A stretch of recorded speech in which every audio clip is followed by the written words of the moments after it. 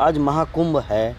आज से 40 दिन तक लगातार महाकुंभ पर्व रहेगा। कैसे देखते हैं सर देखिए कुंभ है हिंदू समाज के लोगों का एक बड़ा प्रोग्राम है और मेरी तमाम शुभकामनाएँ अपने भाइयों के लिए हैं।